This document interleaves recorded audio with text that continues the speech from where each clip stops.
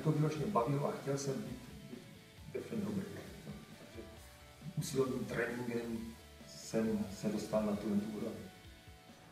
A byl ze Zlína, že došel tam na vojně, já už jsem byl na vojně, takže jsem si ho bral jako zase pod křídla a vyrůstali jsme spolu, že? Pak tam došel Přemek Víčovský a taky to byl taková a ta generace. Ale říkám, my jsme ze Zlína spolu užrali za dost ČSR a pak jsem došel do toho Zlína a tahlo se to pořád, že?